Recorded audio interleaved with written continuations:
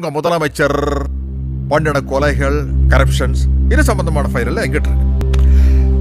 அதே மாதிரி நான் பண்ண கொலைங்க கரப்ஷன்ஸ் நோட்டு லோஸுக்கு அது சம்பந்தமான ஃபைல் எல்லாம் அந்த ஆள் கிட்ட இருக்கு.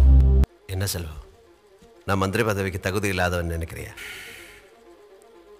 இந்த கட்சிக்கு மத்தவங்க செஞ்ச தொண்டை விட நீ செஞ்சது எந்த விதத்திலையும் குறைவில்லை. சக்கரை இந்த டப்பால எறும்பு வச்சிடுச்சு அதான் வெயில தட்டுறேன். எறும்பெல்லாம் வெயில செத்துருச்சா காஞ்சா செத்துடும். ம். நீங்க தின்னது போக மிச்ச சர்க்கரை தானே எறும்பு மொச்சுது. அத நிழல்ல விட்டுருந்தா தப்பிச்சிருக்கும். வெயில்ல கொட்டி சாகடிச்சிட்டீங்க. சர்க்கரைய மூட்டை மூட்டையா பதுக்கி வச்சுட்டு ஏர் கண்டிஷன் ரூம்ல கால் மேல கால் போட்டு படுத்து தூங்குறானே. அவனை நம்மளால கொல்ல முடியல. ஒரு பாவம் செய்யாத எறும்பத்தானே கொல்ல முடியுது. கொல்லுங்க. கொல்லுங்க. மதுவை நாமும் குடிக்க மாட்டோம். குடிக்க மாட்டோம். குடிக்க மாட்டோம். குடிக்க மாட்டோம். இப்படி ஒவ்வொருத்தர் சப்போர்ட்டும் போயிருந்து பயப்படுறனாலதான் சின்ன சின்ன லெட்டர் பேட கட்சிக்காரன் குட்டி குட்டி ஜாதி சங்க தலைவர் எல்லாம் கவர்மெண்ட் பயமுறுத்த ஆரம்பிச்சிட்டான்.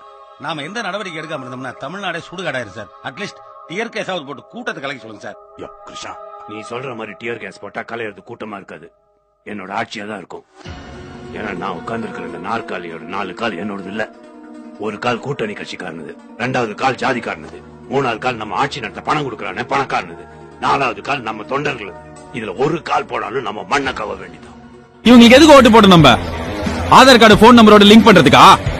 என்ன கேக்குறோம்? வேஸ்டா போற தண்ணிய ஊருக்கு திருப்பி விடுங்க விவசாயம் பண்ணிக்கிறோம்னு கேக்குறோம்.